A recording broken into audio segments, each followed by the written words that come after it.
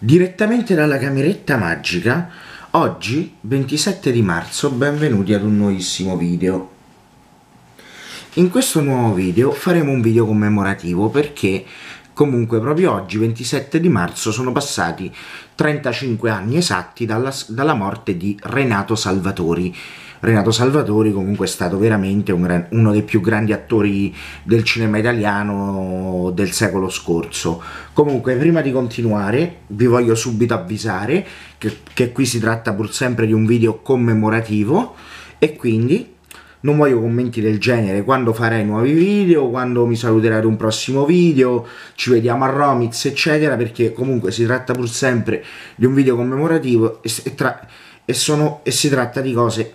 sempre molto delicate, capito? Comunque, tornando a noi,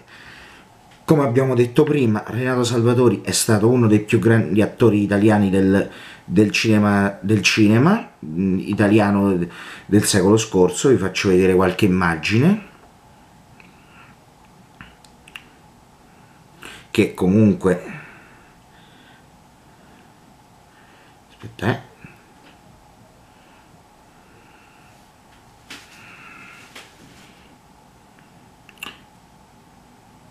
Eccola qui una sua immagine,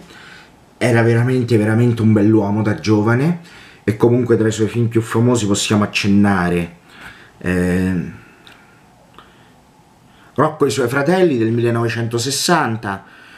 eh, che in questo film c'è anche Alain Delon, Poveri ma belli del 57, I soliti ignoti del 58,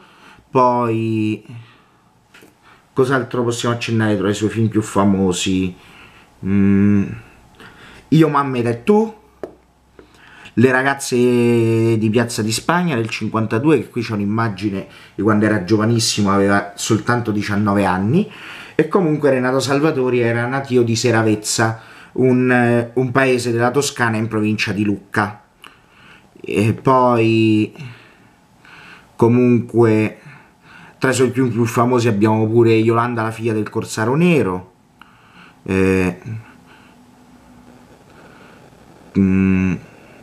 comunque la sua popolarità l'ebbe, iniziò ad averla con Poveri ma Belli, diretto da Dino Risi, poi Belle ma Poveri, Poveri Milionari, poi altri film famosi che possiamo accennare, ah, L'audace colpo dei soliti ignoti,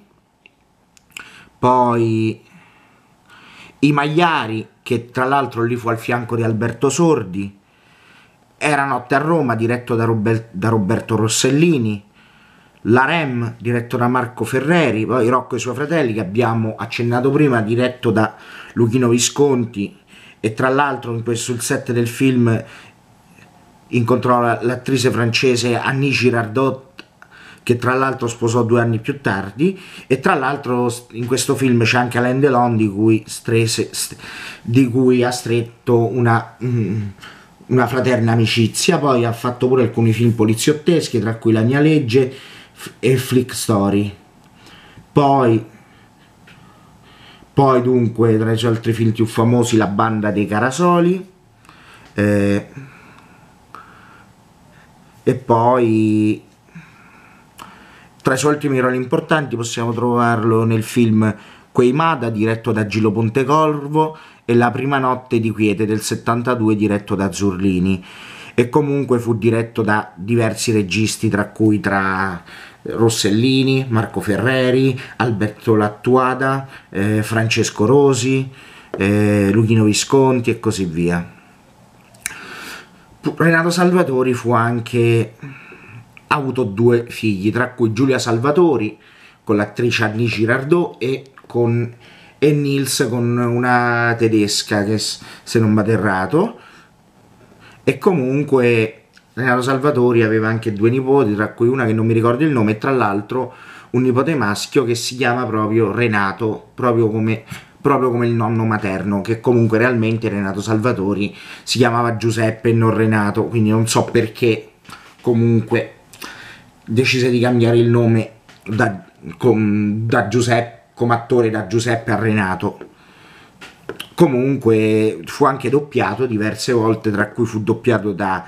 tendenzialmente da Giuseppe Rinaldi, poi è stato anche doppiato da Pino Locchi, da Riccardo Cucciolla, da Marcello Brando, perfino da Nino Manfredi, fu doppiato perfino dal grandissimo Ferruccio Amendola e anche da Renzo, da Renzo, Palmer fu doppiato, fu doppiato anche da Maglio De Angelis, Maglio De Angelis che era figlio di Gualtiero De Angelis, poi comunque era comunque alto Renato Salvatori 1,76 m e comunque purtroppo Renato Salvatori è morto molto è morto in un'età molto prematura a soli 55 anni, il 27 marzo del 1988, di cirrosi epatica, perché purtroppo già dagli anni 70 aveva problemi con l'alcol e comunque il corpo è sepolto nella tomba di, nella tomba di famiglia al cimitero di Querceta che, che sarebbe una frazione di Seravezza. E comunque mi piace, sarebbe bellissimo, magari se dovessi capitare da quelle parti gli andrò a rendere omaggio e sicuramente la sua tomba la filmerò. E comunque vi tengo a precisare che sulla tomba di Renato Salvatori non c'è scritto il nome d'arte, cioè Renato ma il vero nome, Giuseppe. Che dire, e niente, ci vediamo alla prossima